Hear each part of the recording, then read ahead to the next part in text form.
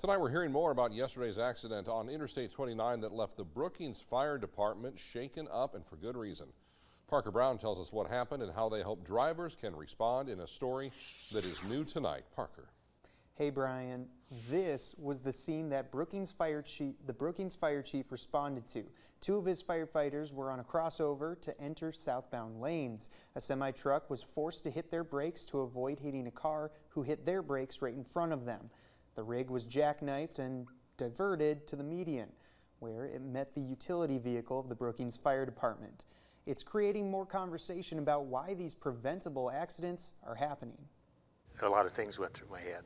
Like, I need to be there, but I can't. It's the last thing that a fire chief ever wants to hear on the radio. Brookings Fire Chief Pete Bolzer was on scene of an injury accident when he heard of another involving his firefighters. I got on scene, and probably the best sight I ever saw was my two firefighters standing around. Bolzer says that the semi truck did the safest thing in the events that led up to the accident. The driver would have certainly crushed the smaller car, and they limited damage by braking and going through the median. What the truck driver couldn't have seen was the Brookings Fire utility truck. They were telling me their story this morning that they couldn't do anything about what was happening, even though they saw it coming. We looked out the window and they could see the semi coming right at them. And one of them told me, the only thing I thought of is, how's this going to work?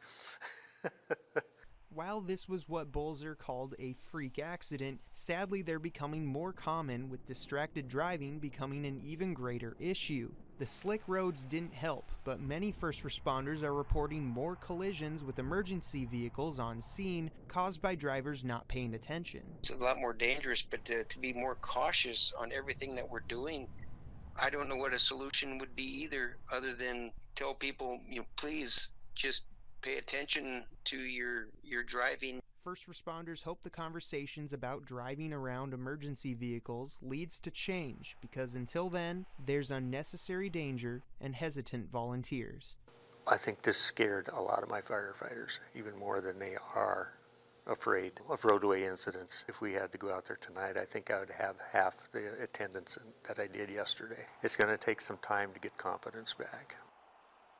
The two firefighters who were in the truck during the accident have no major injuries, just mostly bumps and bruises caused by their seatbelts.